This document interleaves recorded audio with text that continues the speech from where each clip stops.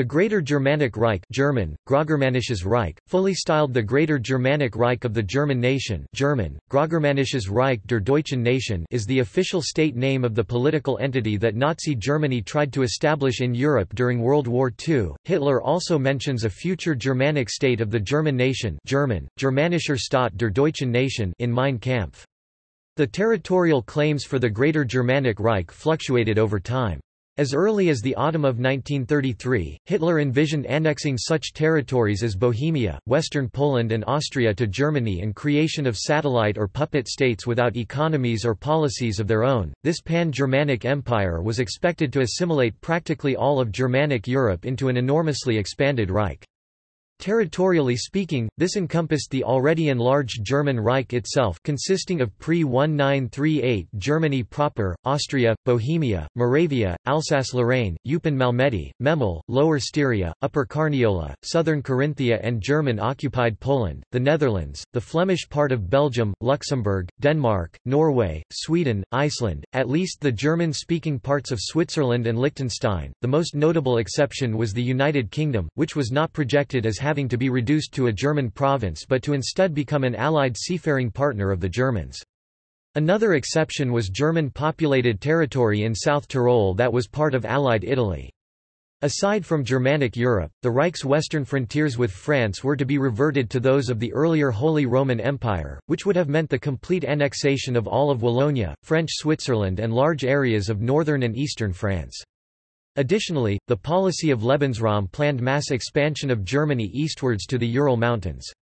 Hitler planned for the surplus Russian population living west of the Urals to be deported to the east of the Urals.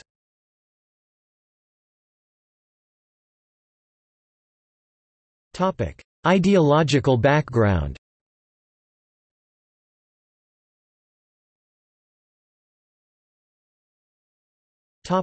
Racial theories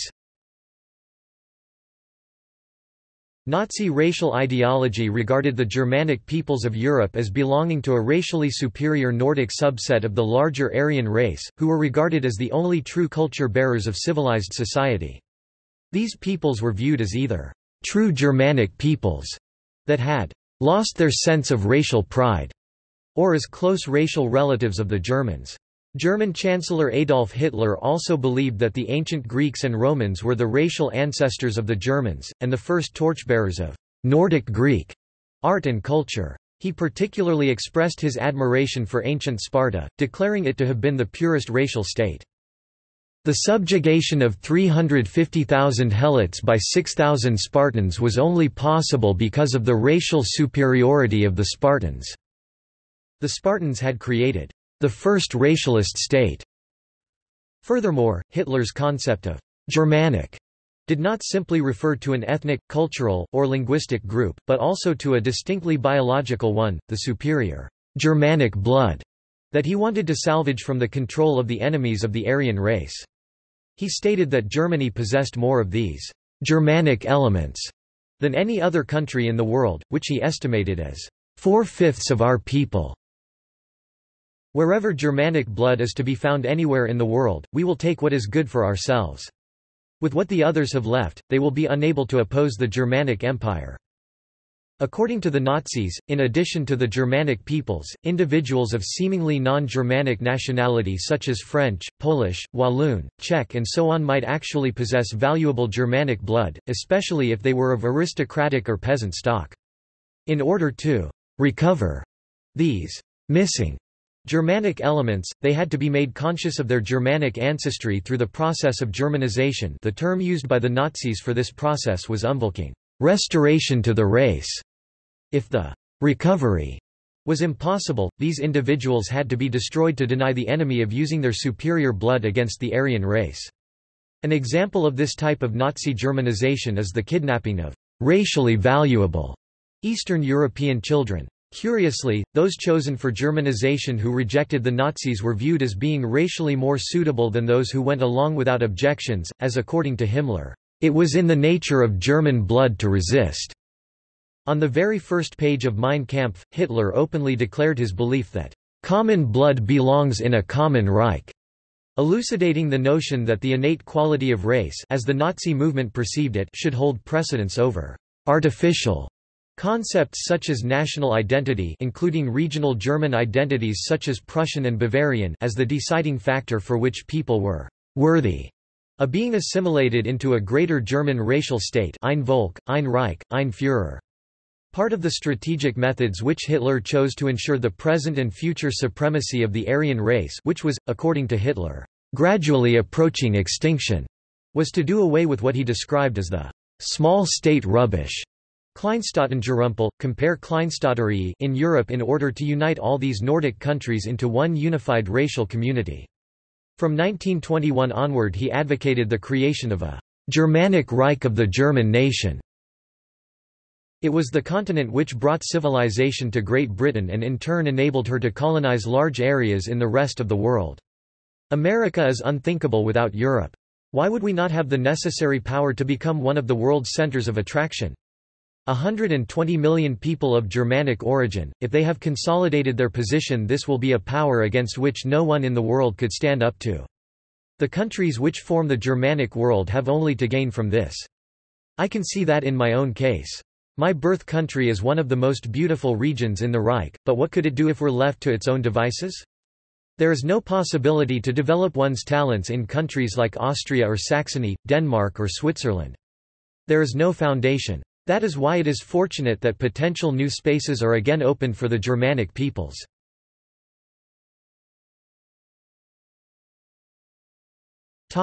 Name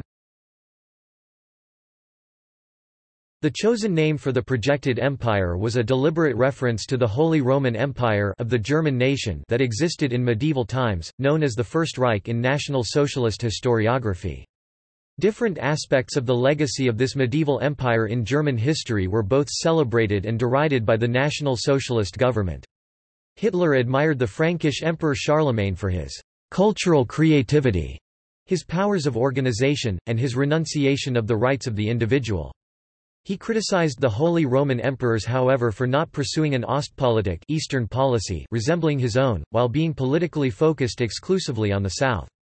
After the Anschluss, Hitler ordered the old imperial regalia the imperial crown, imperial sword, the Holy Lance and other items residing in Vienna to be transferred to Nuremberg, where they were kept between 1424 and 1796. Nuremberg, in addition to being the former unofficial capital of the Holy Roman Empire, was also the place of the Nuremberg rallies. The transfer of the regalia was thus done to both legitimize Hitler's Germany as the successor of the Old Reich but also weaken Vienna, the former imperial residence. After the 1939 German occupation of Bohemia, Hitler declared that the Holy Roman Empire had been resurrected, although he secretly maintained his own empire to be better than the old Roman one. Unlike the uncomfortably internationalist Catholic Empire of Barbarossa, the Germanic Reich of the German nation would be racist and nationalist. Rather than a return to the values of the Middle Ages, its establishment was to be a push forward to a new golden age, in which the best aspects of the past would be combined with modern racist and nationalist thinking. The historical borders of the Holy Empire were also used as grounds for territorial revisionism by the NSDAP, laying claim to modern territories and states that were once part of it. Even before the war, Hitler had dreamed of reversing the Peace of Westphalia, which had given the territories of the empire almost complete sovereignty. On November 17, 1939, Reich Minister of Propaganda Joseph Goebbels wrote in his diary that the total liquidation of this historic treaty was the great goal of the Nazi regime, and that since it had been signed in Munster, it would also be officially repealed in the same city.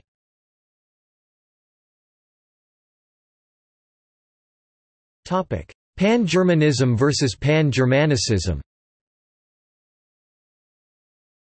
Despite intending to accord the other Germanics of Europe a racially superior status alongside the Germans themselves in an anticipated post-war ratio-political order, the Nazis did not however consider granting the subject populations of these countries any national rights of their own. The other Germanic countries were seen as mere extensions of Germany rather than individual units in any way, and the Germans were unequivocally intended to remain the empire's most powerful source of strength, from both an ideological as well as military standpoint.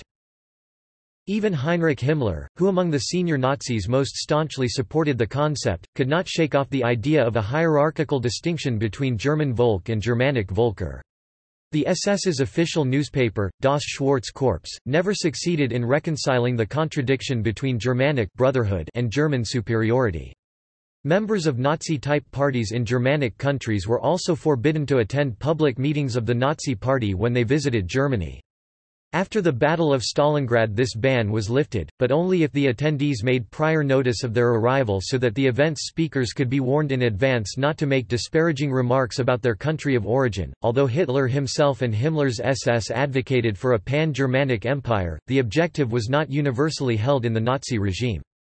Goebbels and the Reich Foreign Ministry under Joachim von Ribbentrop inclined more towards an idea of a continental bloc under German rule, as represented by the Anti-Comintern Pact, Ribbentrop's European Confederation project and the earlier Mitteleuropa concept.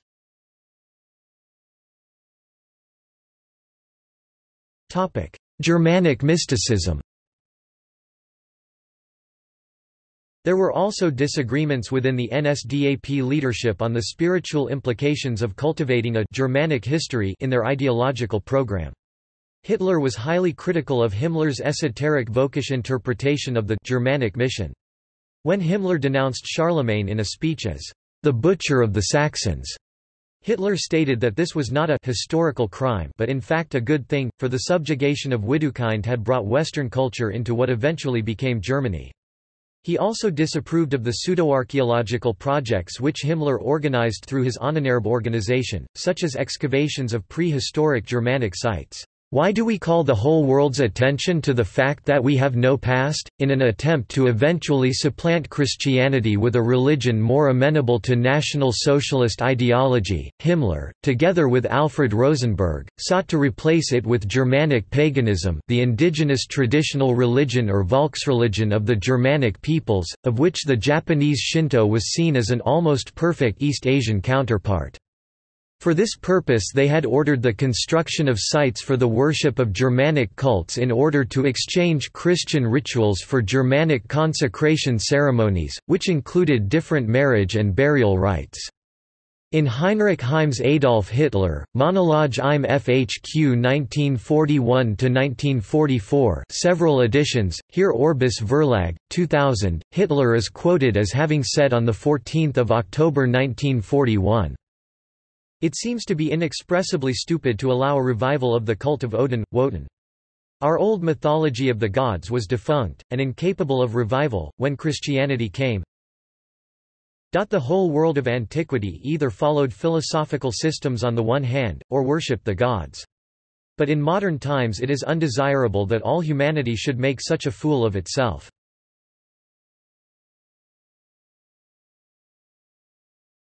Topic: Establishment strategy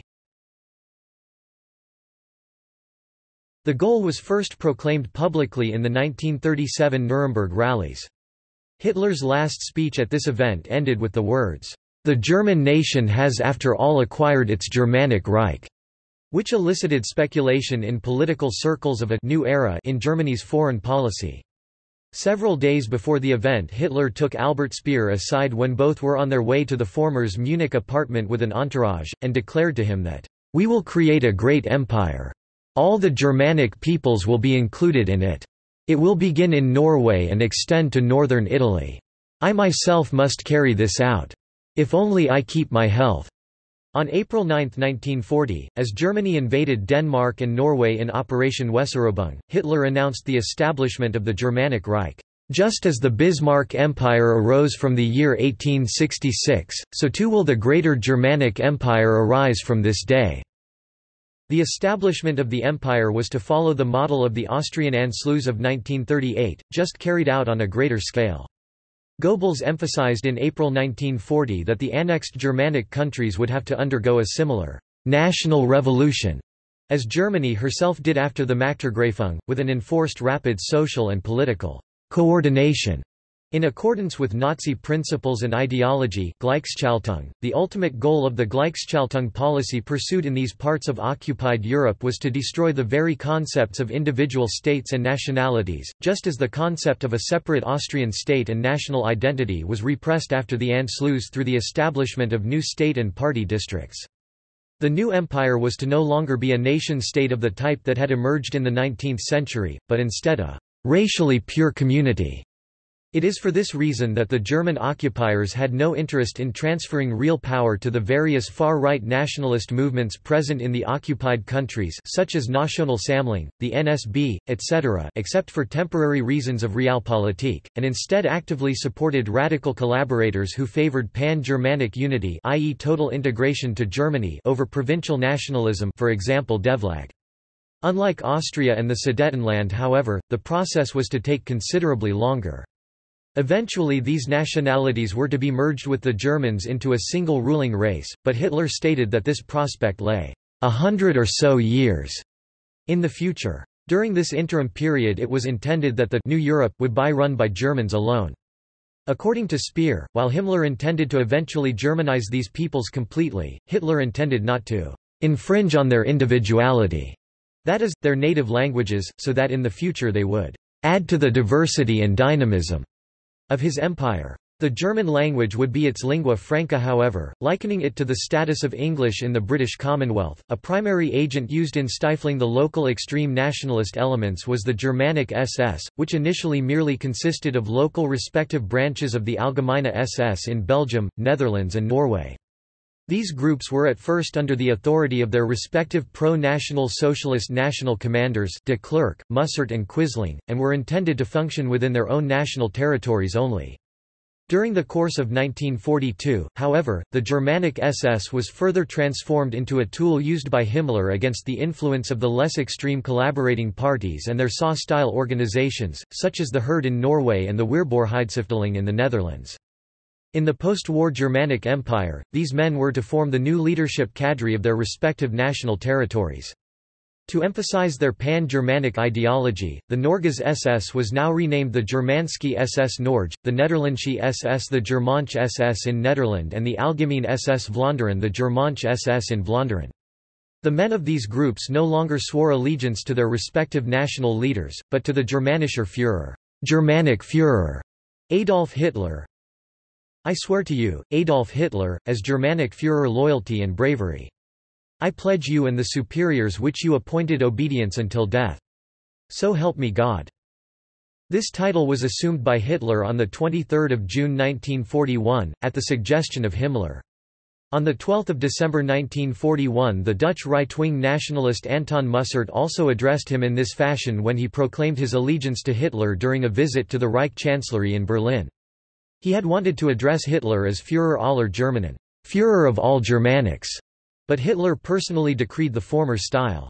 Historian Loé de Jong speculates on the difference between the two. Führer aller Germanen implied a position separate from Hitler's role as Führer und Reichskanzler des Großdeutschen Reiches, Führer and Reich Chancellor of the Greater German Reich, while Germanischer Führer served more as an attribute of that main function. As late as 1944 occasional propaganda publications continued to refer to him by this unofficial title as well however. Mussert held that Hitler was predestined to become the Führer of Germanics because of his congruous personal history. Hitler originally was an Austrian national, who enlisted in the Bavarian army and lost his Austrian citizenship. He thus remained stateless for seven years, during which, according to Mussert, he was the Germanic leader and nothing else. The swastika flag was to be used as a symbol to represent not only the National Socialist movement, but also the unity of the Nordic Germanic peoples into a single state. The swastika was seen by many National Socialists as a fundamentally Germanic and European symbol despite its presence among many cultures worldwide. Hitler had long intended to architecturally reconstruct the German capital Berlin into a new imperial metropolis, which he decided in 1942 to rename Germania upon its scheduled completion in 1950. The name was specifically chosen to make it the clear central point of the envisioned Germanic Empire, and to reinforce the notion of a united Germanic Nordic state upon the Germanic peoples of Europe. Just as the Bavarians and the Prussians had to be impressed by Bismarck of the German idea, so too must the Germanic peoples of continental Europe be steered towards the Germanic concept. He Hitler even considers it good that by renaming the Reich capital Berlin into Germania, we'll have given considerable driving force to this task. The name Germania for the Reich capital would be very appropriate, for in spite of how far removed those belonging to the Germanic racial core will be, this capital will instill a sense of unity.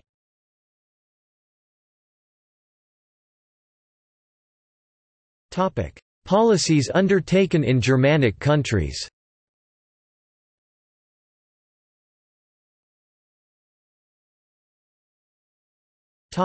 Low countries.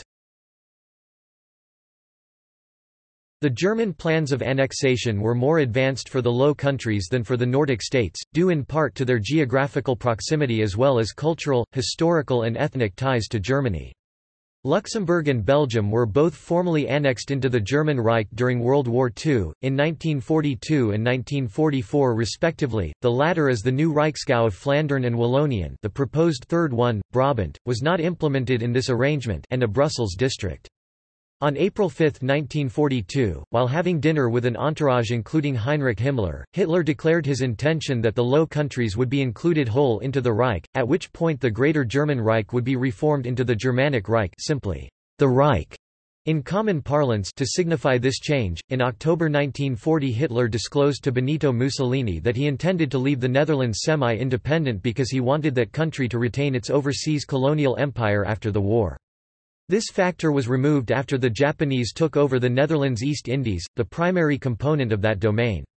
The resulting German plans for the Netherlands suggested its transformation into a Gau Westland, which would eventually be further broken up into five new Gau or Gewesten historical Dutch term for a type of sub-national polity. Fritz Schmidt, a ranking German official in the occupied Netherlands who hoped to become the Gauleiter of this new province on Germany's western periphery stated that it could even be called Gau Holland, as long as the Wilhelmus the Dutch national anthem and similar patriotic symbols were to be forbidden. Rotterdam, which had actually been largely destroyed in the course of the 1940 invasion was to be rebuilt as the most important port city in the Germanic area. Due to its situation at the mouth of the Rhine River, Himmler's personal masseur Felix Kersten claimed that the former even contemplated resettling the entire Dutch population, some 8 million people in total at the time, to agricultural lands in the Vistula and Bug River valleys of German-occupied Poland as the most efficient way of facilitating their immediate Germanization. In this eventuality he is alleged to have further hoped to establish an SS province of Holland in vacated Dutch territory, and to distribute all confiscated Dutch property and real estate among reliable SS men. However this claim was shown to be a myth by Loé de Jong in his book Two Legends of the Third Reich. The position in the future empire of the Frisians, another Germanic people, was discussed on 5 April 1942 in one of Hitler's many wartime dinner conversations. Himmler commented that there was ostensibly no real sense of community between the different indigenous ethnic groups in the Netherlands. He then stated that the Dutch Frisians in particular seemed to hold no affection for being part of a nation-state based on the Dutch national identity, and felt a much greater sense of kinship with their German Frisian brethren across the Ems River in East Frisia, an observation Field Marshal Wilhelm Keitel agreed with based on his own experiences. Hitler determined that the best course of action in that case would be to unite the two Frisian regions on both sides of the border into a single province, and would at a later point in time further discuss the topic with Arthur Seyss-Inquart, the governor of the German regime in the Netherlands. By late May of that year these discussions were apparently concluded, as on the 29th he pledged that he would not allow the West Frisians to remain part of Holland, and that since they were part of the exact same race as the people of East Frisia, had to be joined into one province. Hitler considered Wallonia to be, in reality, German lands, which were gradually detached from the Germanic territories by the French Romanization of the Walloons, and that Germany thus had every right to take these back. Before the decision was made to include Wallonia in its entirety, several smaller areas straddling the traditional Germanic Romance language border in Western Europe were already considered for inclusion. These included the small Letzeburgisch-speaking area centered on Arlen, as well as the Low Dietsch-speaking region west of Eupen the so-called Streek around the city of Limburg, historical capital of the Duchy of Limburg.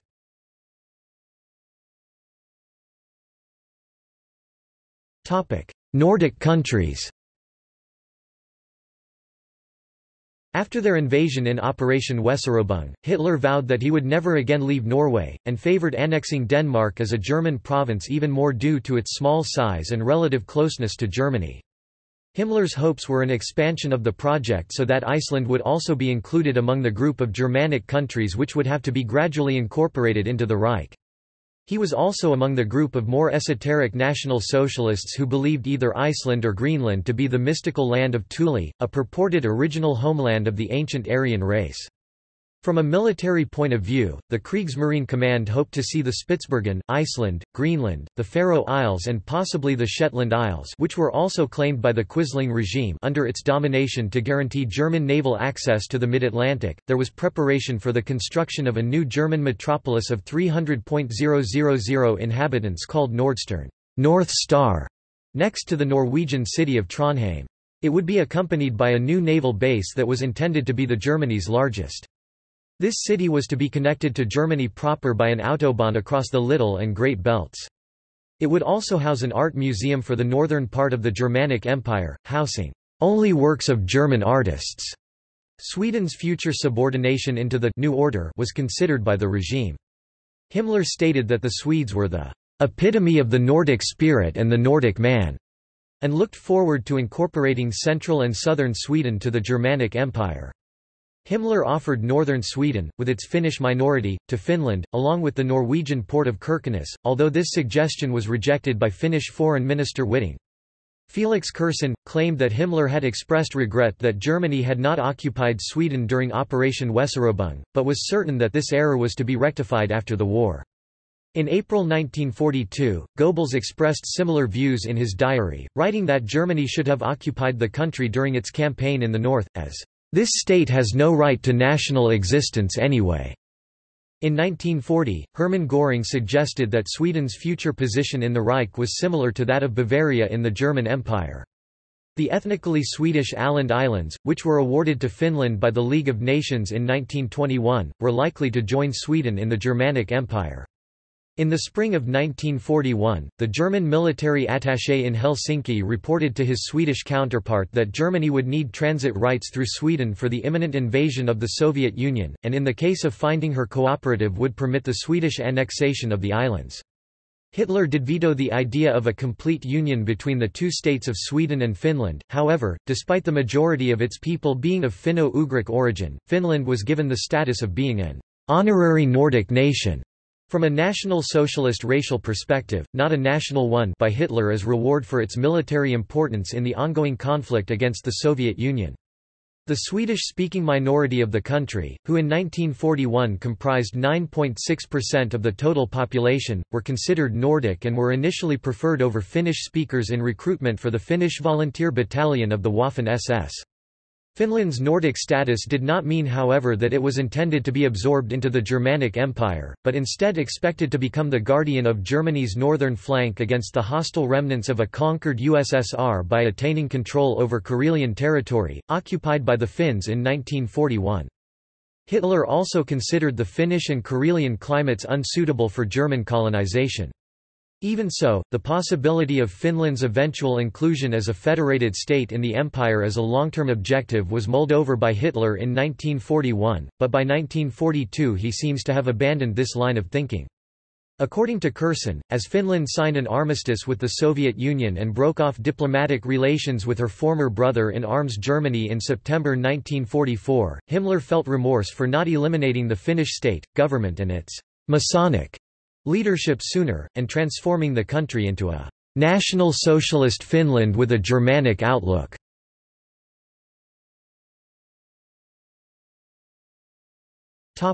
Switzerland The same implicit hostility toward neutral nations such as Sweden was also held towards Switzerland. Goebbels noted in his diary on December 18, 1941, that it would be a veritable insult to God if they the neutrals would not only survive this war unscathed while the major powers make such great sacrifices, but also profit from it. We will certainly make sure that this will not happen. The Swiss people were seen by Nazi ideologists as a mere offshoot of the German nation, although one led astray by decadent Western ideals of democracy and materialism. Hitler decried the Swiss as a misbegotten branch of our Volk, and the Swiss state as a pimple on the face of Europe deeming them unsuitable for settling the territories that the Nazis expected to colonize in Eastern Europe. Himmler discussed plans with his subordinates to integrate at least the German-speaking parts of Switzerland completely with the rest of Germany, and had several persons in mind for the post of a Reichskommissar for the reunion of Switzerland with the German Reich in analogy to the office that Joseph Bürckel held after Austria's absorption into Germany during the Anschluss. Later this official was to subsequently become the new Reichsstatthalter of the area after completing its total assimilation. In August 1940, Gauleiter of Westfalen South Joseph Wagner and the Minister-President of Baden Walter Kohler spoke in favor of the amalgamation of Switzerland to Reichsgau Burgund see below and suggested that the seat of government for this new administrative territory should be the dormant Palais des Nations in Geneva. Operation Tannenbaum, a military offensive intended to occupy all of Switzerland, most likely in cooperation with Italy which itself desired the Italian-speaking areas of Switzerland, was in the planning stages during 19 1940–1941. Its implementation was seriously considered by the German military after the armistice with France, but it was definitively shelved after the start of Operation Barbarossa had directed the attention of the Wehrmacht elsewhere.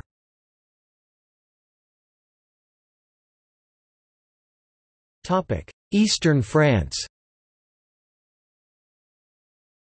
In the aftermath of the Munich Agreement, Hitler and French Prime Minister Édouard Daladier in December 1938 made an agreement that officially declared that Germany was relinquishing its previous territorial claims on Alsace-Lorraine in the interest of maintaining peaceful relations between France and Germany and both pledged to be involved in mutual consultation on matters involving the interests of both countries.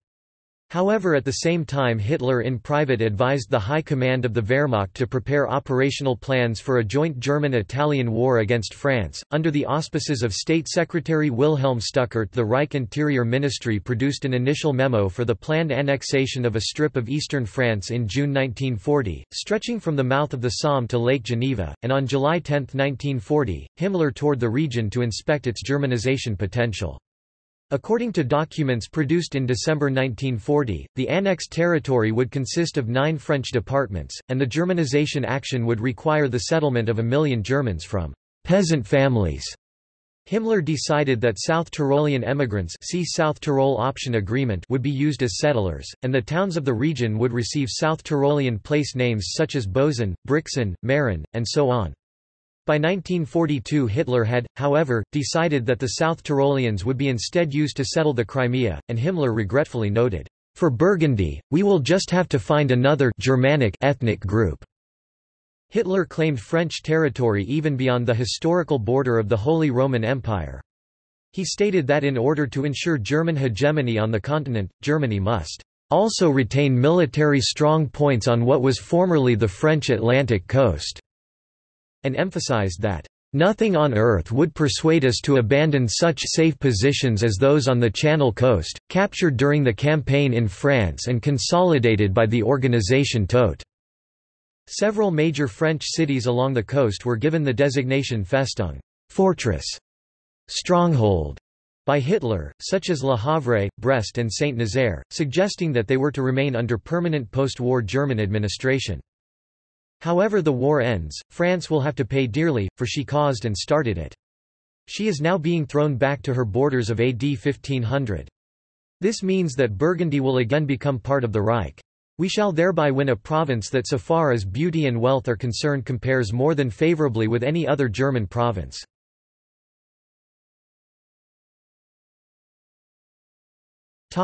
Atlantic Islands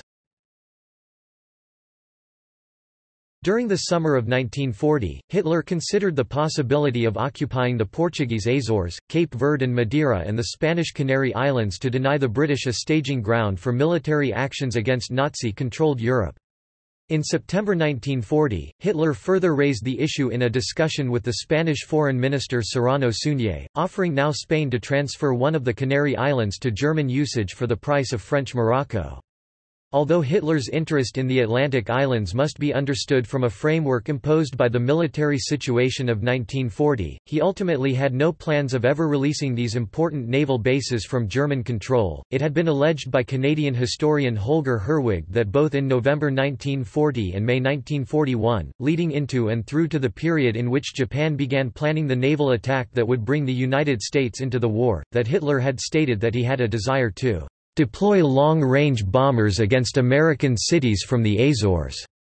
Due to their location, Hitler seemed to think that a Luftwaffe airbase located on the Portuguese Azores Islands were Germany's only possibility of carrying out aerial attacks from a land base against the United States. In a period about a year before the May 1942 emergence of the Amerika Bomber Transoceanic Range Strategic Bomber Design Competition.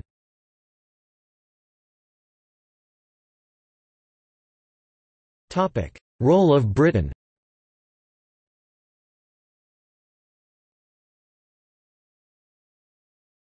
Topic: United Kingdom. The one Germanic language-speaking country that was not included in the Pan-Germanic unification aim was the United Kingdom, in spite of its near-universal acceptance by the Nazi government as being part of the Germanic world. Leading Nordic ideologist Hans F. K. Gunther theorized that the Anglo-Saxons had been more successful than the Germans in maintaining racial purity and that the coastal and island areas of Scotland, Ireland, Cornwall and Wales had received additional Nordic blood through Norse raids and colonisation during the Viking Age, and the Anglo-Saxons of East Anglia and northern England had been under Danish rule in the 9th and 10th centuries. Gunther referred to this historical process as Aufnordung additional Nordification", which finally culminated in the Norman conquest of England in 1066.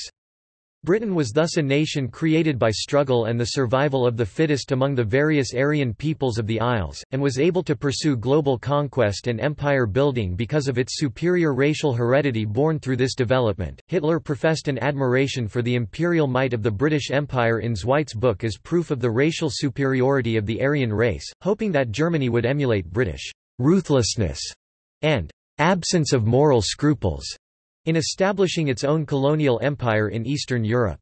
One of his primary foreign policy aims throughout the 1930s was to establish a military alliance with both the English Hitler conflated England with Britain and the United Kingdom in his writings and speeches as well as the Italians to neutralize France as a strategic threat to German security for eastward expansion. When it became apparent to the National Socialist leadership that the United Kingdom was not interested in a military alliance, anti-British policies were adopted to ensure the attainment of Germany's war aims. Even during the war however, hope remained that Britain would in time yet become a reliable German ally. Hitler preferred to see the British Empire preserved as a world power, because its breakup would benefit other countries far more than it would Germany, particularly the United States and Japan. In fact, Hitler's strategy during 1935–1937 for winning Britain over was based on a German guarantee of defence of the British Empire. After the war, Ribbentrop testified that in 1935 Hitler had promised to deliver 12 German divisions to the disposal of Britain for maintaining the integrity of her colonial possessions. The continued military actions against Britain after the fall of France had the strategic goal of making Britain see the light and conduct an armistice with the Axis powers, with July 1, 1940, being named by the Germans as the probable date for the cessation of hostilities. On May 21, 1940, Franz Halder, the head of the Army General Staff, after a consultation with Hitler concerning the aims envisaged by the Führer during the present war, wrote in his diary, "...we are seeking contact with Britain on the basis of partitioning the world." One of Hitler's sub-goals for the invasion of Russia was to win over Britain to the German side. He believed that after the military collapse of the USSR, within a few weeks, Britain would be forced either into a surrender or else come to join Germany as a junior partner in the Axis. Britain's role in this alliance was reserved to support German naval and aerial military actions against the USA in a fight for world supremacy conducted from the Axis power bases of Europe, Africa and the Atlantic. On August 8, 1941, Hitler stated that he looked forward to the eventual day when England and Germany march together against America and on January 7, 1942, he daydreamed that it was not impossible for Britain to quit the war and join the Axis side, leading to a situation where "...it will be a German-British army that will chase the Americans from Iceland." National Socialist ideologist Alfred Rosenberg hoped that after the victorious conclusion of the war against the USSR, Englishmen, along with other Germanic nationalities, would join the German settlers in colonizing the conquered eastern territories. From a historical perspective, Britain's situation was likened to that which the Austrian Empire found itself in after it was defeated by the Kingdom of Prussia in the Battle of Königgrätz in 1866. As Austria was thereafter formally excluded from German affairs, so too would Britain be excluded from continental affairs in the event of a German victory. Yet afterwards, Austria-Hungary became a loyal ally of the German Empire in the pre-World War I power alignments in Europe, and it was hoped that Britain would come to fulfill this same role.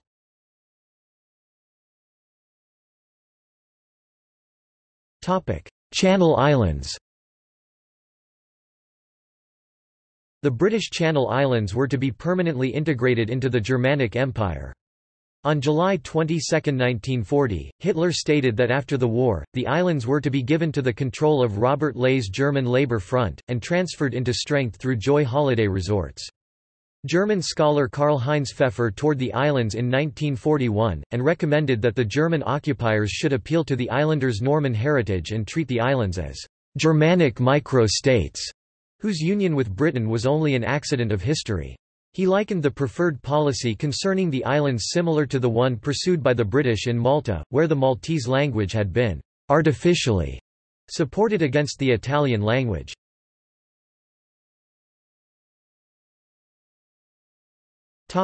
Role of Ireland A military operation plan for the invasion of Ireland in support of Operation Sea Lion was drawn up by the Germans in August 1940.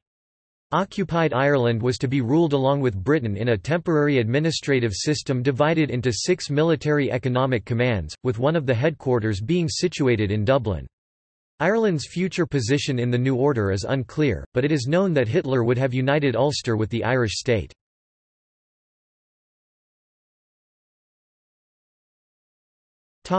Role of Northern Italy Hitler regarded northern Italians to be strongly Aryan but not southern Italians. He even admitted that the Ahnenerbe, an archaeological organization associated with the SS, asserted that archaeological evidence proved the presence of Nordic Germanic peoples in the region of South Tyrol in the Neolithic era that it claimed proved the significance of ancient Nordic Germanic influence on northern Italy. The NSDAP regime regarded the ancient Romans to have been largely a people of the Mediterranean race however they claimed that the Roman ruling classes were Nordic, descended from Aryan conquerors from the north, and that this Nordic Aryan minority was responsible for the rise of Roman civilization. The National Socialists viewed the downfall of the Roman Empire as being the result of the deterioration of the purity of the Nordic Aryan ruling class through its intermixing with the inferior Mediterranean types that led to the empire's decay. In addition, racial intermixing in the population in general was also blamed for Rome's downfall, claiming that Italians were a hybrid of races, including black African races. Due to the darker complexion of Mediterranean peoples, Hitler regarded them as having traces of Negroid blood and therefore did not have strong Nordic Aryan heritage and were thus inferior to those that had stronger Nordic heritage. Hitler held immense admiration for the Roman Empire and its legacy. Hitler praised post-Roman-era achievements of northern Italians such as Sandro Botticelli, Michelangelo, Dante Alighieri, and Benito Mussolini. The Nazis ascribed the great achievements of post-Roman-era northern Italians to the presence of Nordic racial heritage in such people who via their Nordic heritage had Germanic ancestors, such as NSDAP Foreign Affairs official Alfred Rosenberg recognizing Michelangelo and Leonardo da Vinci as exemplary Nordic men of history. German official Hermann Hartmann wrote that Italian scientist Galileo Galilei was clearly Nordic with deep Germanic roots because of his blonde hair, blue eyes, and long face. The Nazis claimed that aside from biologically Nordic people that a Nordic soul could inhabit a non-Nordic body. Hitler emphasized the role of Germanic influence in northern Italy, such as stating that the art of northern Italy was nothing but pure German and National Socialist scholars viewed that the Ladine and Friulian minorities of northern Italy were racially, historically and culturally a part of the Germanic world. To put it bluntly, Hitler declared in private talks that the modern Reich should emulate the racial policy of the old Roman Germanic Holy Empire, by annexing the Italian lands and especially Lombardy, whose population had well preserved their original Germanic Aryan character, unlike the lands of East Europe, with its racially alien population, scarcely marked by a Germanic contribution. According to him, German are more closely linked with the Italians than with any other people. Plans to incorporate northern Italy into the Greater Germanic Reich were influenced by the collapse of the fascist Italian government in 1943. From the cultural point of view, we are more closely linked with the Italians than with any other people. The art of northern Italy is something we have in common with them, nothing but pure Germans. The objectionable Italian type is found only in the south, and not everywhere even there. We also have this type in our own country. When I think of them, Vienna Ottakring, Munich Giesing, Berlin Pankow. If I compare the two types, that of these degenerate Italians and our type, I find it very difficult to say which of the two is the more antipathetic. The Nazi regime's stances in regards to northern Italy was influenced by the regime's relations with the Italian government, and particularly Mussolini's fascist regime. Hitler deeply admired and emulated Mussolini. Hitler emphasized the racial closeness of his ally Mussolini to Germans of Alpine racial heritage. Hitler regarded Mussolini to not be seriously contaminated by the blood of the Mediterranean race. Other National Socialists had negative views of Mussolini and the fascist regime. The NSDAP's first leader, Anton Drexler was one of the most extreme in his negative views of Mussolini, claiming that Mussolini was probably a Jew and that fascism was a Jewish movement. In addition there was a perception in Germany of Italians being racially weak, feckless, corrupt and corrupting, bad soldiers as perceived as demonstrated at the Battle of Caporetto in World War I, for being part of the powers that established the Treaty of Versailles, and for being a treacherous people given Italy's abandonment of the Triple Alliance with Germany and Austria-Hungary in World War I to join the Entente. Hitler responded to the review of Italy betraying Germany and Austria-Hungary in World War I by saying that this was a consequence of Imperial Germany's decision to focus its attention on upholding the moribund Austro-Hungarian Empire while ignoring and disregarding the more promising Italy. The region of South Tyrol had been a place of contending claims and conflict between German nationalism and Italian nationalism. One of the leading founders of Italian nationalism, Giuseppe Mazzini, along with Ettore Tolomei, claimed that the German-speaking South Tyrolean population were in fact mostly a Germanicized population of Roman origin who needed to be liberated and returned to their rightful culture. With the defeat of Austria-Hungary in World War I, the peace treaty designated to Italy the South Tyrol, with its border with Austria along the Brenner Pass. The Italian fascist regime pursued Italianization of South Tyrol, by restricting use of the German language while promoting the Italian language, promoting mass migration of Italians into the region, encouraged mainly through industrialization, and resettlement of the German-speaking population. After Mussolini had made clear in 1922 that he would never give up the region of South Tyrol from being in Italy, Hitler adopted this position. Hitler in Mein Kampf had declared that concerns over the rights of Germans in South Tyrol under Italian sovereignty was a non-issue considering the advantages that would be gained from a German-Italian alliance with Mussolini's fascist regime. In Mein Kampf Hitler also made clear that he was opposed to having a war with Italy for the sake of obtaining South Tyrol.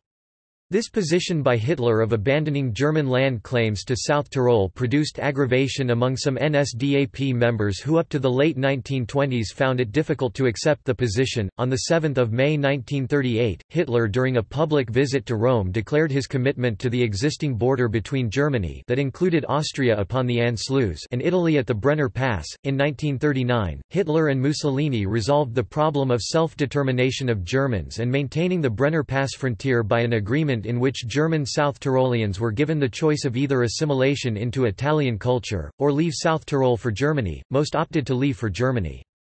After King Victor Emmanuel III of the Kingdom of Italy removed Mussolini from power, Hitler on 28 July 1943 was preparing for the expected abandonment of the Axis for the Allies by the Kingdom of Italy's new government, and was preparing to exact retribution for the expected betrayal by planning to partition Italy. In particular Hitler was considering the creation of a «Lombard state» In northern Italy that would be incorporated into the Greater Germanic Reich, while South Tyrol and Venice would be annexed directly into Germany. In the aftermath of the Kingdom of Italy's abandonment of the Axis on 8 September 1943, Germany seized and de facto incorporated Italian territories into its direct control. After the Kingdom of Italy capitulated to the Allies in September 1943, according to Goebbels in his personal diary on 29 September 1943, wrote that Hitler had expressed that the Italian German border should extend to those of the region of Veneto. Veneto was to be included into the Reich in an autonomous form, and to benefit from the post-war influx of German tourists. At the time when Italy was on the verge of declaring an armistice with the Allies, Himmler declared to Felix Kersten that northern Italy, along with the Italian-speaking part of Switzerland, was bound to eventually be included in Greater Germany anyway. Whatever was once an Austrian possession we must get back into our own hands. The Italians by their infidelity and treachery have lost any claim to a national state of the modern type. After the rescue of Mussolini and the establishment of the Italian Social Republic (RSI), in spite of urging by local German officials, Hitler refused to officially annex South Tyrol. Instead, he decided that the RSI should hold official sovereignty over these territories and forbade all measures that would give the impression of official annexation of South Tyrol. However, in practice the territory of South Tyrol within the boundaries defined by Germany as Operationszone Alpenvorland that included Trent, Bolzano, and Belluno, were de facto incorporated into Germany's Reichsgau Tirol Vorarlberg and administered by its Gauleiter Franz Hofer. While the region identified by Germany as Operation Zone Adriatisches Küstenland that included Udine, Gorizia, Trieste, Pola, Fiume Rijeka, and Ljubljana were de facto incorporated into Reichsgau Kärnten and administered by its Gauleiter Friedrich Rainer, in a supplementary OKW order dated 10 September 1943, Hitler decrees on the establishment of further operational zones in northern Italy, which were the stretch all the way to the French border. Unlike Alpenvorland and Küstenland, these zones did not immediately receive high commissioners as civilian advisors, but were military regions where the commander was to exercise power on behalf of Army Group B. Operation Zone Nordwest Alpen or Schweizer Grenz was located between the Stelvio Pass and Monte Rosa and was to contain wholly the Italian provinces of Sondrio and Como and parts of the provinces of Brescia, Varese, Novara and Vercelli. The zone of Französische Grenz was to encompass areas west of Monte Rosa and was to incorporate the province of Aosta and a part of the province of Turin, and presumably also the provinces of Cuneo and Imperia. From autumn 1943 onward, members of the Ahnenerbe, associated with the SS, asserted that archaeological evidence of ancient farmsteads and architecture proved the presence of Nordic Germanic peoples in the region of South Tyrol in the Neolithic era including prototypical Lombard-style architecture, the significance of ancient Nordic Germanic influence on Italy, and most importantly that South Tyrol by its past and present and historic racial and cultural circumstances, was Nordic Germanic national soil.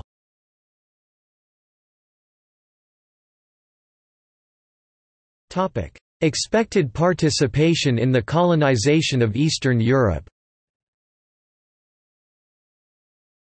Despite the pursued aim of pan-Germanic unification, the primary goal of the German Reich's territorial expansionism was to acquire sufficient Lebensraum living space in Eastern Europe for the Germanic Übermenschen or superior men.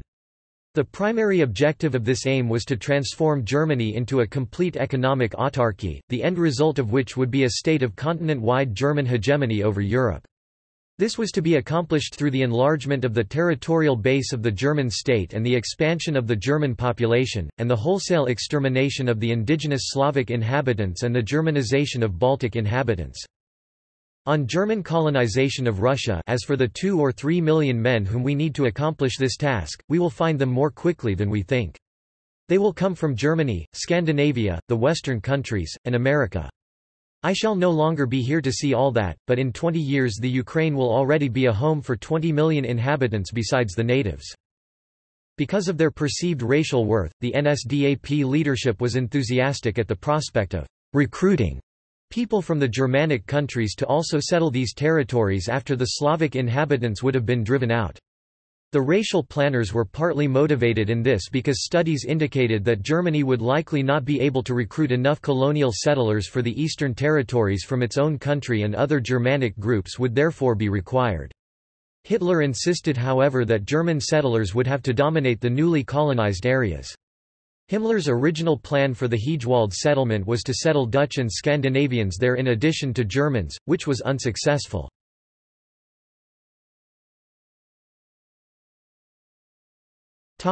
Later development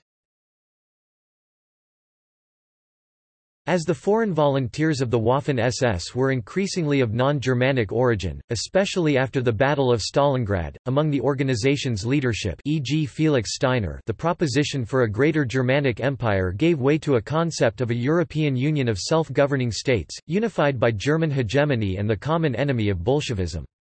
The Waffen-SS was to be the eventual nucleus of a common European army where each state would be represented by a national contingent. Himmler himself, however, gave no concession to these views, and held on to his pan-Germanic vision in a speech given in April 1943 to the officers of SS divisions LSAH, Das Reich and Totenkopf. We do not expect you to renounce your nation. We do not expect you to become German out of opportunism. We do expect you to subordinate your national ideal to a greater racial and historical ideal, to the Germanic Reich.